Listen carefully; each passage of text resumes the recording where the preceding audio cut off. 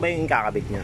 Ah, nakabit po tayo ng signal light sa tail light ng NMAX.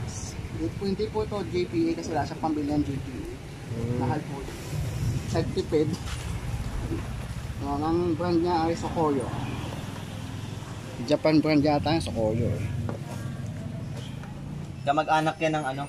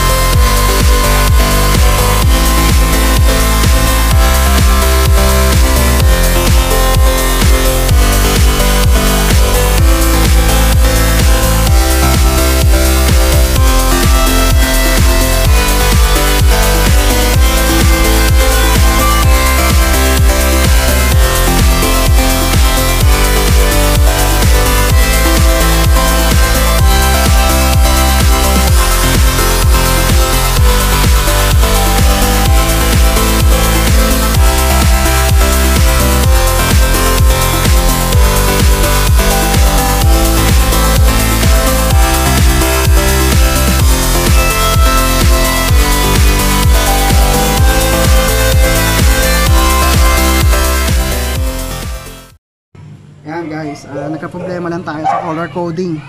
So mali, imbes na itong yellow wire, nasa linya siya ng brake light. Ang nangyayari, nasa may part siya ng signal light, park light, tsaka Anong tatak? Anong tatak? yan. Tatak? Sokoyo. Sokoyo. Yan. So ang mangyayari, pagpapalitin ko siya ng terminal kasi mali siya yung color coding niya. Sabihin mo na yung Sokoyo. Oh, Sokoyo po yung tatak. oh, so Koyo ha, pakiayos yung color coding ng wirings nyo. Baka naman. Oo, nagkabaliw-baliw. Suntukan na kami dito. Dahil lang sa color coding nyo. Mali. Kaya, ang mangyayari, Putol. putol, kabit. Yan. Walang warranty, ubos na. Ano nga, alo, tinapon na. okay, sige, balikan namin kayo mamaya pagka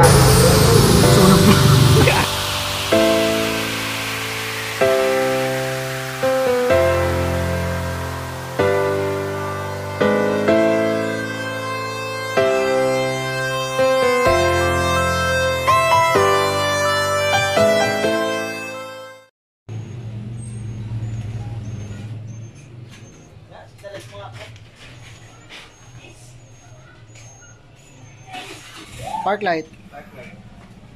Okay.